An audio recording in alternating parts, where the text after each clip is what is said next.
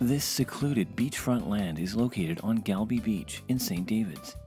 This unique beachfront property faces east to the Atlantic and benefits from a constant refreshing sea breeze.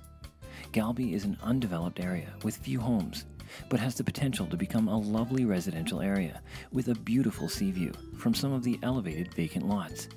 Call us today to find out more.